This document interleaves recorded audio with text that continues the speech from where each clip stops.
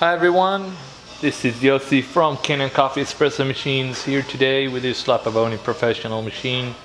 I had this one in the shop for a little bit of TLC and basically uh, this machine needed a tune-up and a heating element gasket replacement. I'm just going to show you some of the parts. Um, this is more than the average repair. So we have the heating element gasket, uh, we have the sight glass cover, group head gasket. We even replaced the uh, spindle for uh, the steam valve.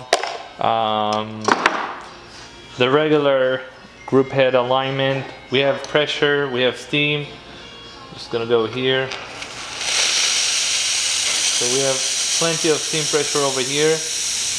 Gauge is a little off. That's very typical to these uh, machines. It happens sometimes. Let me just clean up here. Now we're gonna pull a shot. Now usually um, we don't have the tray or the original water filter. This will have to do it. And then what I'm gonna do is just gonna zoom in here real quick so you guys can see the result.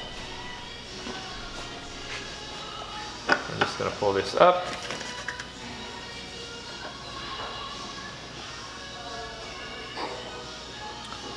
Three, two, one. And let's pull the shot.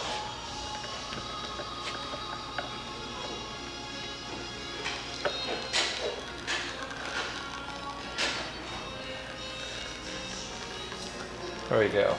That's a really nice shot. See, it has a lot of crema. Pour was very slow. Probably could fit about 15 grams in that uh, basket. So everything seems to be in good order and ready to go. So I want to thank you for watching and I want to thank you for repairing with Kanen Coffee. Make sure to hit the subscribe and like button. It helps us a lot.